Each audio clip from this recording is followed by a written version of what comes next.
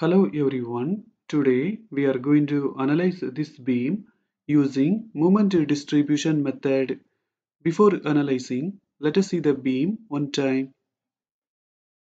In this beam, there are two spans, span AB and span BC. In the span AB, there is a point load 20 kN acting in the center. In the span BC, there is uniformly distributed load 9.6 kN per meter acting for the full span. In the support B, we have a coupled moment 24 kN meter. It is acting in the clockwise direction. Length of AB is 4 meter. Length of BC is 5 meter. In the point A, we have a fixed support. In the points B and C, we have hinged supports. Now let us find the fixed end moments. First, let us find them in the span AB. In the span AB, there is a point load 20 kN acting in the center. The formulas to find the fixed end moments are minus WL upon 8 and positive WL upon 8. Here W is 20, L is 4. When we apply the values inside the formulas, we are getting M of AB and M of BA. Now let us find the fixed end moments in the span BC. In the span BC, there is uniformly distributed load 9.6 kN per meter. It is acting for the full span. The formulas to find the fixed end moments are minus WL square upon 12 and positive WL square upon 12. Here W is 9.6 and L is 5. When we apply the values inside the formulas, we are getting M of BC and M of CB. In the moment distribution method, we have to find the distribution factor. To find the distribution factor, we have to calculate the stiffness. Let us see the formulas to find the stiffness. If the fair end is fixed, the formula is 4EI upon L. If the fair end is hinged or with roller support, the formula is 3EI upon L. If the fair end is continuous, the formula is 4EI upon L. In the joint B, first let us find the stiffness for BA. For that, from the point B, we have to look at the point A. In the point A, there is a fixed support. If the fair end is fixed, the formula is 4EI upon L. Length of BA is 4. Let us apply that. Finally, for the stiffness of BA, we are getting EI. Now, let us find the stiffness for BC. For that, from the point B, we have to look at the point C. In the point C, there is a hinged support. If the fair end is hinged, the formula for the stiffness is 3EI upon L. Length of BC is 5. Let us apply that. For the stiffness of BC, we are getting 0.6 EI. Now let us find sigma k. For that, we have to add these two values. After adding, we are getting 1.6 EI. Now let us find the distribution factor. The formula is k upon sigma k. We have calculated the k and sigma k values. Using the formula, we can get the distribution factors. Now let us start making the moment distribution table. In the table, first let us enter all of the members. Then let us enter the distribution factor values.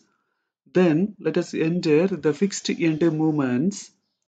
In the point C, there will be no movement because it is a simply supported end. So we have to make CB 0 for CB, the fixed end moment is 20. When we add minus 20 with this 20, we will get 0. We have released CB and we have to give carry over from CB to BC, when we divide minus 20 by 2, we will get minus 10. Now let us find the adjusted fixed end moments. For AB and BA, there are no changes. For BC, we have to add these two values. After adding, we are getting minus 30. Now let us make the first distribution in the joint B. First, let us do for BA. For that, we have to add these two fixed end moments and then multiply with the distribution factor at BA. When we do that, we are getting a negative value. So we are entering inside the table as positive. Now let us do the distribution for BC. For that, we have to add these two values and then multiply with the distribution factor at BC. When we do that, we are getting a negative value. So we are entering inside the table as positive. Now let us do the carryover. When we divide 12.5 by 2, we will get 6.25. We cannot make the carry over between BC and CB because we have released CB and made it 0. Now we can't continue further. We know that we can make the distribution only in the joint B, but in joint B there are no values. So we cannot make any more distributions. Let us add the values and get the total. When we add these two values, we will get minus 3.75 when we add these two values, we will get 22.5 and finally when we add these two values, we will get minus 22.5. In the joint B, there is a couple 24 kilonewton meter. It is acting in the clockwise direction. We have to balance this couple. Since it is acting in the clockwise uh, direction, it should be applied as positive. First, let us distribute for BA. For BA, the distribution factor is 0.625. When we multiply 24 with 0.625, we will get 15. Let us apply that. Now, let us distribute for BC. For BC, the distribution factor is 0.375 when we multiply 24 with 0.375, we will get 9. Let us apply that. Here we have to be very careful. We have to apply the same value as it is. We should not change the sign. If it is positive, we have to apply as positive and if it is negative, we have to apply as negative. We should not change the signs. Now let us give carry over from BA to AB. When we divide 15 by 2, we will get 7.5. Also, we know that we should not make any carry over between BC and CB. Now let us find the final moments. For that, we have to add these two values.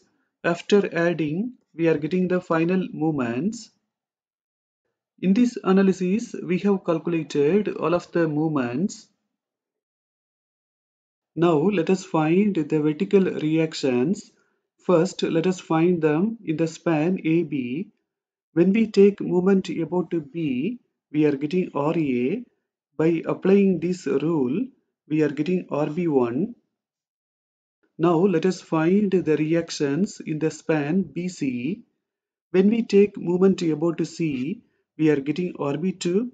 When we apply this rule, we are getting RC. Let us add RB1 and RB2 so that we will get RB. Here I have drawn the shear force diagram. Using these formulas, we can draw the free moment diagram Using the direction of the moments, we can draw the end moment diagram. After combining both of the diagrams, we will get the bending moment diagram.